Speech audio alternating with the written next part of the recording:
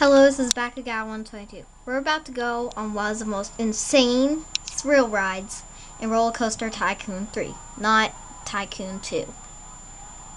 Tycoon 2 was not as interesting. Okay, Coaster Cam.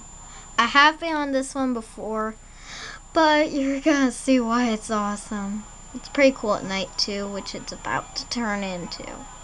There's that little rocket simulation. Cool, huh?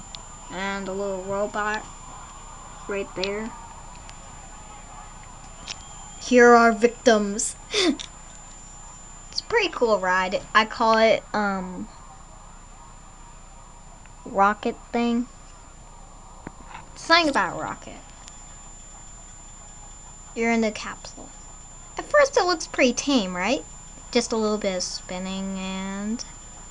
Oh, something's going sideways. What? Oh my god! Oh my god! We're going upside down! Oh my god! Woo! Oh my god! Now technically, if you went on this ride, you'd be barfing in midair. Which would be real gross, would get in your hair! Woohoo!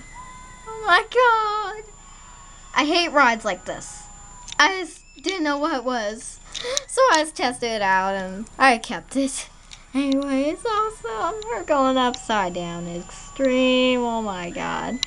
This is why you're in the capsule. this is exactly why you're in the capsule.